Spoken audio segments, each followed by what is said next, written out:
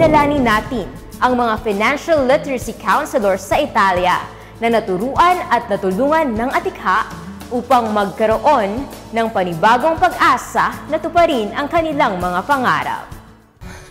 Ang experience ko doon bilang OFW, wala namang bad experience. I don't, I haven't experienced ng racism, discrimination, no. Kasi depende siguro yung sa pakikipag-deal sa employer, sa mga Italians. Ang nagawa ko, ang experience kong positive experience ko sa Italy is nag-establish ako ng association of Filipinos sa Turin, Italy. Yun ang aking pinaka, ano, reference point ng na, na, naging OFW ako.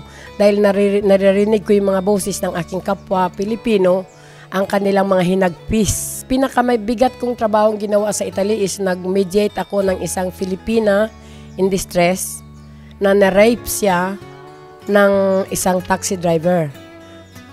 Ni-rape siya tapos nag uh, binaliktad kasi siya. Hindi siya marunong mag-Italyan. So, nung mag-mediate ako sa kanya, umiyak siya at at the same time buntis siya dahil nung pagka-rape sa kanya. Ni-reverse sa kanya yung kaso. Ang sabi ng taxi driver, nag, uh, ano ba ito, inanon siya, tinukso. Boy, girlfriend daw niya yung babae. Yun ang pinakamabigat kong ginawa sa Italy na gusto kong yakapin ang kapwa ko Pilipino. Gusto ko siyang isave Sa Italy, apat na taon na akong nagtatrabaho bi- bilang ah, domestic helper. Ibig sabihin, trabaho ko dahil maging babysitter, maglis ng bahay. Lahat ng ano all around na yun.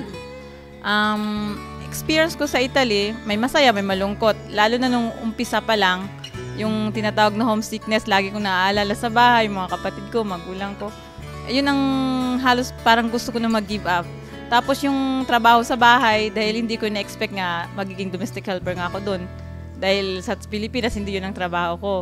Naging teacher ako. Kaya pagdating doon, walang nag-explain sa akin na ganun. Nagkaroon pa ako ng kunting ano sa culture kasi magkaiba din tayo ng kultura. So, malaking adjustment ang ginawa ko sa nung dumating ako sa nung pumunta ako sa Italy. Sa Italy ay 21 years na ako. Sa awa ng Diyos, napapunta ko na din ang aking mga mahal sa buhay doon. At ngayon meron nga kaming grupo which is Phil Amici, Philippine Associations of Migrants in Italy for the Common Interest. At the same time, engaged din ako sa networking, pero meron din ako sa bahay. So hindi ko yun ikinahihiya dahil yun ang means of living kung saan ako kumukuha ng suporta para masuportahan ang needs ng bawat pamilya. Pangunahing layunin ng Atikha ang makapagbigay ng mas malawak na tulong sa ating mga OFs ukol sa pamamahala ng kanilang pinansya. Kaakibat ng Atikha ang Soro-Soro Ibaba Development Cooperative o SIDSI sa kampanya nito na mabigyan ng financial literacy trainings ang ating mga kababayang OFs. Ang SIDSI ay maituturing na pinakamahusay na agri-based cooperative sa Pilipinas.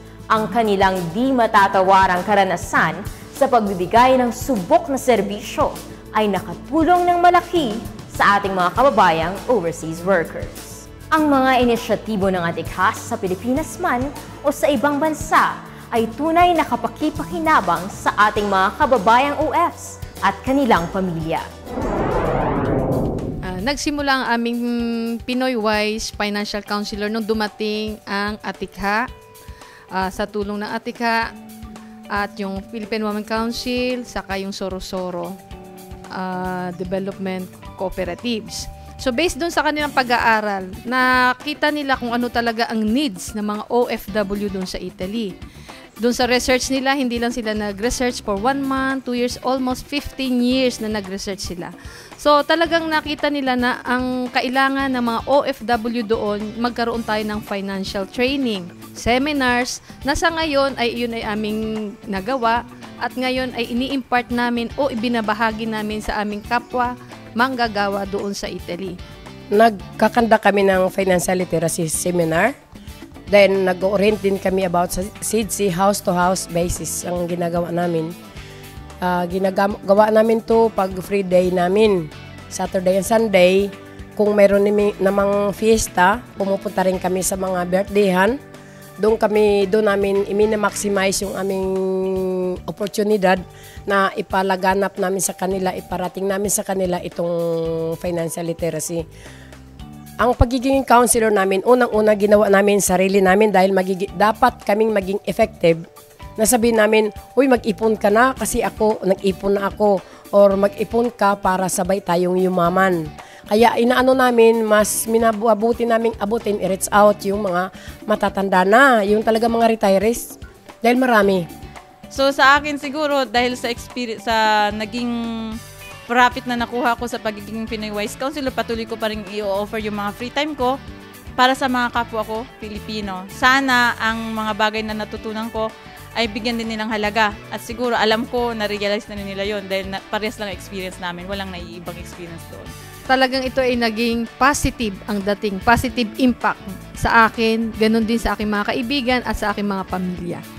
Ah, unang-una nagkaroon talaga ng additional information, knowledge, no, mas na, nadagdagan yung pagpasok ko dito sa financial na, na maging financial literacy counselor dito sa Italy through financial training na na-attenan namin ah nai-ano namin yun na talagang dapat ma magkaroon tayo ng ano na sabihin natin, no, hindi lahat ng bagay ay sasabihin natin o maibigay sa kanila.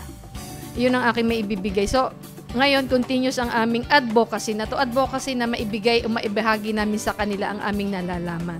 So, wag kaming hihinto kasi yung hindi naabot ng ibang government ano dun sa Italy, kami ang aabot sa kanila.